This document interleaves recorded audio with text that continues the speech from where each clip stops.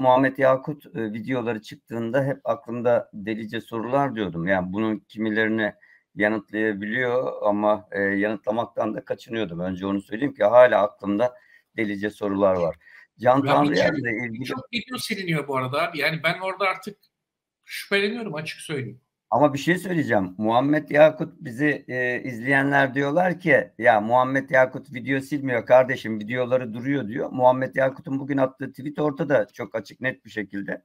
Videolarının silinmesiyle ilgili olarak sildirildiğini söylüyor. Yani bilmiyorum e, bakanlar var mı? Son olarak hemen onu paylaş göstereyim. Muhammed Yakut'u e, şöyle söylüyor. Yani bize diyorlar ki biz görüyoruz. Görüyorsunuz arkadaşlar. Gördüğünüz son videosunu görüyorsunuz. Bir de başka yerdeki e, videolarını görüyorsunuz.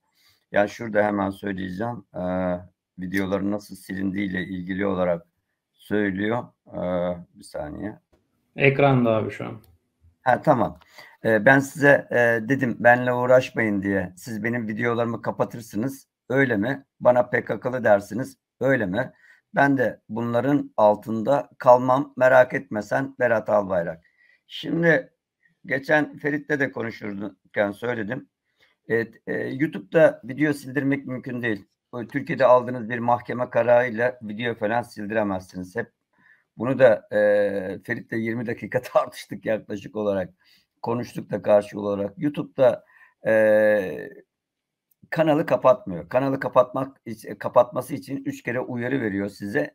Bu üç uyarı sonrasında kapatıyor. Bu üç uyarı öncesinde de video siliyor. O videoların silinmesi için de çocuk istismarı olması gerekiyor ve YouTube'un kendi yayın ilkelerine aykırı yayın yapılmış olması gerekiyor. Küfürlerden falan şu ana kadar YouTube'un sildiği bir yayın falan yok. Önce onu söyleyelim. Bu yayının e, yayınları silebilecek tek isim var. O da Muhammed Yakut.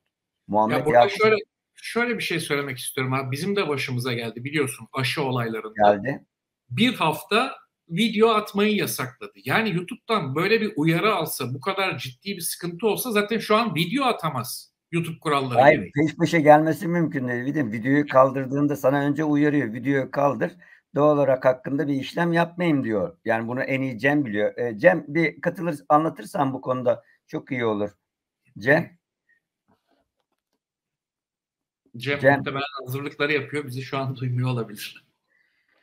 Ben Cem'i şu ekrana alayım şöyle duymak zorunda kalsın. Fark etmez abi görmüyorsanız. Cem. Cem. Cem. Allah'ım ya Rabbim ya. Cem'i bir arasana e, gelsin az bir zahmet anlatsın şunu. Ya sen ekrana verme de abi ses falan gelir şimdi. Gelmez. Evet biz bir devam edelim.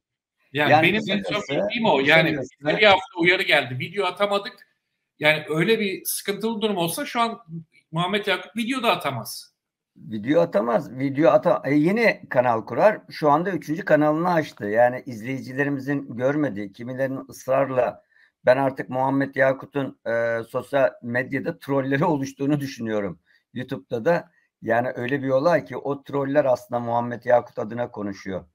E, ben ilk çıktığında reklamı var diyordum. Hayır reklam yok diyenler vardı. E, Muhammed Yakut niye reklam olduğunu açıkladı zaten. Yani ya, Cem hazırsan gelebilir misin? Ali Bey'in soracakları var.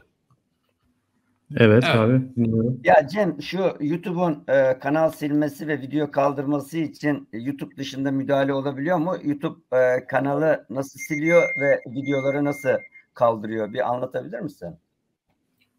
Şimdi şöyle YouTube'un e, erişim kararına yani devletler istedikleri zaman şey yapabiliyorlar, istedikleri şekilde erişim yasağı getirebiliyorlar ama e, silme ve kanalı kapatma olayları tamamen YouTube'un kendi topluluk standartları var. Yani bunu herkes de çok rahat bir şekilde ulaşabiliyor. Kaynakları açık zaten Google'ın kendi içinde. Oradaki topluluk standartlarına uymadığı zaman zaten direkt e, YouTube'un yönetim bölümünde yani stüdyo, YouTube stüdyo kısmına zaten ihtar olarak düşer. Orada söyler sizin yaptığınız şey bizim e, politikamıza ters düştü. Bunu kaldırıyoruz. İki kez daha tekrarlanırsa işte önce bir bir haftalık ondan sonra iki haftalık ondan sonra üçüncüsünde de tamamıyla süresiz olarak kapatıyorlar şeyi. Ama evet. onun dışında kimse bir şey yapamaz yani. Şimdi izleyicilerimiz söylüyor. Cevher'in de videoları silindi diyor. Arkadaşlar video silinmesiyle kanalın kapatılması ayrı bir şey. Anlatıyoruz sürekli olarak. Bizim de başımıza geldi. E, bizde de uyarı yaptılar. Videoyu silin dediler. Biz o videoyu silmedik. itirazda bulunduk. İtirazda bulunmamız üzerine hem videomuzu sildiler hem de kanalımızı 7 gün boyunca kapattılar. Ama bu 7 gün boyunca abi.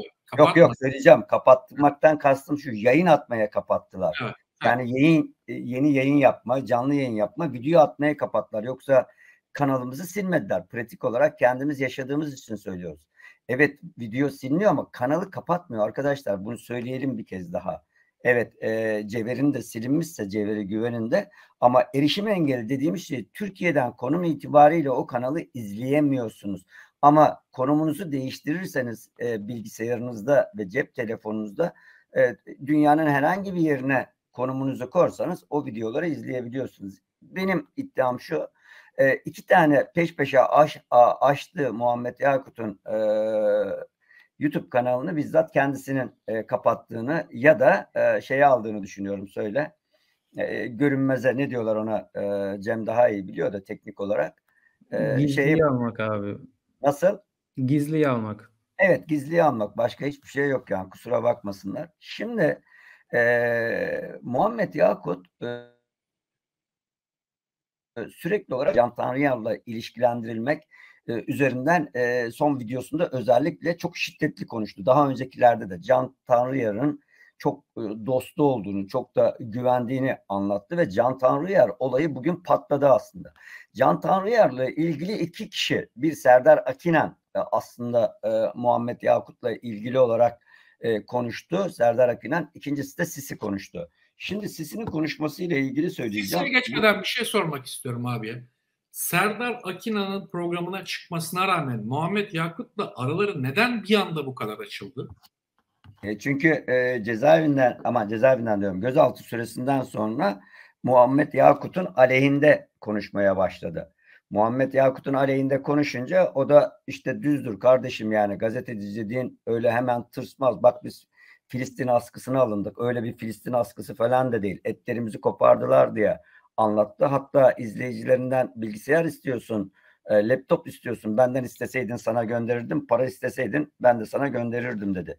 Şimdi bugün mesela Muhammed Yakut'un bu açıklamaları e, e şeyle özellikle Can Tanrıyar'la ilgili açıklamalar aynı zamanda Can Tanrıyar'la ilgili kamuoyunda çıkan haberler üzerine e, Can Tanrıyar'ı gözaltına aldılar. Gözaltına alınmasının en önemli nedenlerinden bir tanesi de şu e, Can Tanrıyar'ın e, Muhammed Yakut'a belge ve bilgi gönderdiği iddiaları. Bunları tabii ki göreceğiz. Şimdi Seyhan Soylu e, yaklaşık olarak e, üç gün önce bir paylaşım yaptı şey. Şimdi e, şunu şunu şuradan çıkalım. E, Sisi lakaplı bu Mısır'ın Sisi'si değil kimse karıştırmasın. Seyhan Soylu yani e, bir dönemin transseksüel kraliçesi diye adlandırılan e, isim aynı zamanda Ergonokon davasında da tutuklanmış ve gözaltına alınmıştı hatırlarsınız. E, Muhammed Yakut'a bir video çekerek e, racon kesti açıkça. E, dedi ki e, e, şeye e, hem Serdar Akinan'a sahip çıktı hem de Muhammed Yakut'a Can Tanrıyar'ın dolmuşuna gelmemesini tavsiye etti. Üç gün önceki videoda. Zaten dikkat ederseniz e, Muhammed Yakut da son videosunda ona yönelik olarak üstü kapalı kimi isimlere yanıt veriyordu. Şimdi e, Soylu Yakut'un e, Bülent Ersoy'un eski yapımcısı Fevzi Siverek ile yaptığı telefon görüşmesini yayınlamasına da tepki gösterdi. Ben bu delikanlılık aleminin raconunu sizden 50 kere daha iyi biliyorum dedi ve dedi ki gazeteci Serdar Akinen büyük bir cesaret göstererek röportaj yaptı. Takdir etmeyi bırakın çok da kıskandım. Serdar gözaltına alınmayı göze alarak Yakut ile röportajı yaptı. Sonuç ne demiştik? Akinen bu röportaj için kullanıldı. Gerçekler ortaya çıktığında da pişman olacak dedik ve oldu. E, röportaj yaptığı için değil, perde arkasında uçan kuş Can Tanrıyar olduğunu görünce şok oldu ve korkusuzca bu sefer röportaj yaptığı kişinin belge koyamadığını ve söylediklerinden iki şey harici 98'inin belgesiz kulaktan dolma olduğunu gördü ve bunu yaptığı röportajlarda da dile getirdi. Aslında bu Muhammed e, delikanlı olarak alemde bilinen kabadayı tayfasından renkli bir kişilik. Bu şahıs belli ki çok doldurulmuş. Belli ki birilerinin çıkar menfaat odaklı hesaplarına kurban edilmiş biri. Yeminle üzüldüm. Üzüldüm çünkü bir delikanlının düşmemesidir gereken bir pozisyona düştü. Muhammed Yakut delil belge sunamadı. Muhammed Yakut'un elinde somut deliller olmadığından dolayı hep şu dosyaya geleceğim. Yok şunun da dosyası var diyerek çektiği 7 videoda da, videoda da şimdiye kadar somut bir delil ortaya koyamadı. Aa pardon koydu. Dün 30 yıllık dostu Fecri Siverek'in dosya arayarak bak bak kendini Can Tanrıyer için yakıyorsun. Yapma gittiğin yol yol değil. Çıkmaz sokak seninki. Telefon konuşmasını yayınladı. Böyle bir şey olur mu? Ben bu delikanlılık aleminin raconunu sizden 50 kere daha iyi biliyorum. Yemin ediyorum. Ayıp değil mi? Bülent Hanım onun ablası. Senin ablan olduğu gibi. Adam sana dostluk olarak telefon açıyor. Bu işte e, mantarladın hem de onu yayınlamakla hem de adama bu tür iftira atmakla. Bu adam senin için geliyor. Bu canın dolmasında gelme diye geliyor. Şimdiye kadar gösterebildiğin tek şey Fevzi Siverek'in seni araması. Onun için mi geliyorsun dediğin adamın Can Tanrıyer 7,5 milyon dolarını kopardı. Hiç bok etmeyen televizyonuna operasyon yaptı adama. Gene adam sustu. Adamın ailesini yazmaya başlayınca yeter dedi. Hem paramızı alacaksın dedi. Hem hakaret edeceksin. Olmaz bu dedi. Adamın o kadar gücü varken gitti hukuka başvurdu. Hukukta tüm mallarına haciz koydu. Anla artık operasyonun içine çekiliyorsun. Hani sen kendine delilerin delisi ya adam Serdar Akınan kukulatalı deli adam. Neye cesaret ettiğinin farkında olmadan meslek aşkıyla yaptı. Sen de bir de adamı aşağılıyorsun. Kimin sözleriyle Can Tanrıyar'ın karısı Tamar'ın sözleriyle bir de ayaklarının altını öpüyorsun. Bu zamana kadar ben acabalarım vardı söylediklerinde ilgili. Belki göstermesen bile acabalarım vardı ama şimdi hiç acabam kalmadı. Can, Can Tanrıyar'ın ayağının altını öpen yemin ediyorum inanıyorum sana ya. Tamar'ın ayağının altını öperim onları gazeteci kabul ediyorum diyorsun. Aha ben buraya yazıyorum. Seni ve e, seni ve senin gibileri tanırım ben. Dolmuşa bindin. Sonunda Can Tanrıyar'ın içinden geçeceksin. Ben söyledim. Pazartesi günü gidiyorum. Can Tanrıyar'ı şikayet ediyorum. Şimdi e, Can Tanyar'la ilgili olarak Metin Güneş'in de ve oğlunun da şikayet ettiği iddiaları söz konusu ve e, şey de söyle e, Sisi de şikayet ediyor ve bugün o şikayetler üzerine Can Tanrıyar gözaltına alındı. Yani bu işin daha arkasında pis kokular çıkacağını düşünüyorum. Dikkat edersen Muhammed Yakut bugüne kadar 9 video çekti. Bu 9 videoda e, ilk videolarında e, Recep Tayyip Erdoğan'ı överek giderken, sayın derken, abi derken e, yani bilmem nelerini yerken yani bir şeyi de söyleyeyim tabiriyle e, onları yaparken e, Süleyman Soylu'ya farklı şeyler kullanırken en sonunda 9. videoda Süleyman Soylu'yla da övgülü şeyler söylemeye başladı. Kısacası gördüğüm kadarıyla Muhammed Yakut'la ilgili olarak e, olay daha da e, uzadıkça ve ortaya belgeler koyamadıkça hep işte e, önümüzdeki videolarda hep önümüzdeki videolarda diyerek gittikçe kamuoyunda e, kazandığı popülaritesini kaybedeceğini düşünüyorum. Evet yani burada da en başta senin aldığın karar sonra konuşmalarımızdaki kararlarda aslında bu vadede haklı olduğumuzda ortaya çıkıyor. Muhammed Yakup'la ilgili. Şimdi biliyorsun Serdar Akinan da yayınladığı videolarda Can Tanrıyar e, Can Tanrıyar'la ilgili olarak iddiaları e, koymuştu. Emre Erçiş e, biliyorsun bu sosyal medyadaki e, sosyal medya fenomenlerinden biri. Troll olarak da geçiyor. Muhammed Yakut'un Can Tanrıyar olan ilişkisini e, Emre Erci sosyal medya hesabından deşifre etmişti. Telefon trafiğini e, ortaya e, koymuştu. Zaten MIT meselesine de oradan geliyor Muhammed Yakut. Onu da ifade edeyim. Yani MIT'i ve Hakan Fidan'la ilgili son videosunda ortaya koymuş. Emre Erciş ile ilgili olarak da zaten MIT'in MIT'le ilgili ilişkisi olduğuna yönelik olarak kamuoyunda birçok bilgi var. Şimdi Serdar Erkinan diyor ki ben gözaltına çıktıktan sonra gazeteci arkadaşlarımla oturdum konuştum. Dikkat ediyorum ortalığa bir takım bilgiler saçılmaya başladı. Bunlardan en ilginci Muhammed Yakut'un ilişkileri. Şimdi hatırlar mısınız benim yayında bir benimle ilgili yayında bir kelime kullandı. Bir ifade kullandı. Dedi ki bunu ben arada e, arada ben konuşmadım. Ben dedi Can Tanrıyer ile beraber Can Tanrıyer bir gazeteci bu arada biliyorsunuz. Uçan Kuş diye bir sitesi var. Ben Can Tanrıyer ile beraber Doğan Şentürk'ün yani Fox Haber'in genel yayın yönetmenine gittim. Bu videolarda anlattığım her şeyi onlara anlattım. Can Tanrıyer ile beraber. Orada ben uyanamadım işe. E bunlar yayınlanmadı.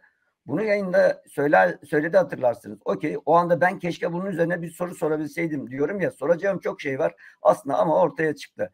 Şimdi e, biliyorsun e, şeyle ilgili Serdar Akinan aslında Muhammed Yakut'u e, konuk olarak aldığında sadece dinledi hiçbir şey sormadı. Yani orada gazetecilik yaptı mı diye soracak olursanız gazetecilik yapmadı aslında. Çünkü konuştuğu şeyler üzerinden o kadar çok soru sorabilirdi ki daha önce ara, yani videolarını izleyerek de soru sorabilirdi. Sadece dinleyerek geçiştirdi. Gözaltına alındıktan sonra da birbirlerine düştüler biliyorsun.